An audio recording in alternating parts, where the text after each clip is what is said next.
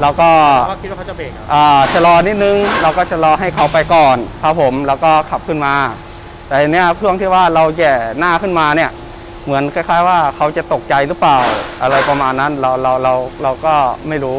พอเขาผ่านไปแล้วก็ขับขึ้นมาปกติครับ ขับขึ้นมา เราก็นึกว่ามันจะไม่มีอะไร พอผมจอดรถอ่าแฟนมาส่งจอดรถปุ๊บเขาก็มาจอดประชานชิดเลย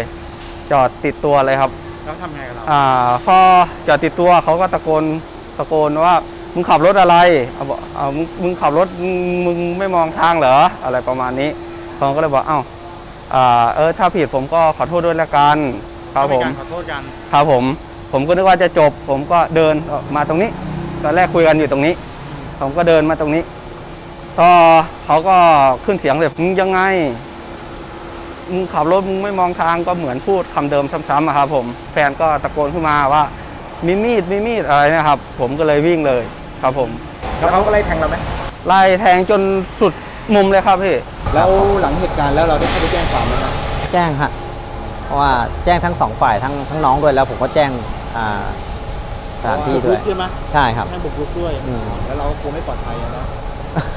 มันก็ทำงานก็ต้องระวังระวังอะไรอย่างเงี้ยแล้วเราเขารู้จักเขาไหมก่อนเหตุ ไม่ไม่คุ้นหน้าไม่คุ้นหน้าเลยใช่แต่แต่น้องเขาบอกว่าคุ้นคุ้นหน้า แล้วเขาพูดจาข่มขู่อะไรบ้างไหมก็มีตะโกนในตรงในสถานประกอบการผมเลยอะว่า ที่นี่บางใหญ่นะ ที่นี่บางใหญ่นะอะไรประมาณเนี้ยอ่า ข่าวสดสื่อออนไลน์คุณภาพที่มีผู้ติดตามทางโซเชียลมากกว่า 19 ล้าน follower อย่าลืมติดตามคลิปดีๆ สาระความบันเทิง ข่าวด่วนแบบฉับไวกับข่าวสดออนไลน์ทุกช่องทาง ไม่ว่าจะเป็น Facebook Twitter Instagram YouTube และ TikTok และตอนนี้นะคะ แฟนเพจ Facebook สามารถส่งดาวมาเพื่อเป็นกำลังใจให้กับทีมงานข่าวสดได้แล้วค่ะ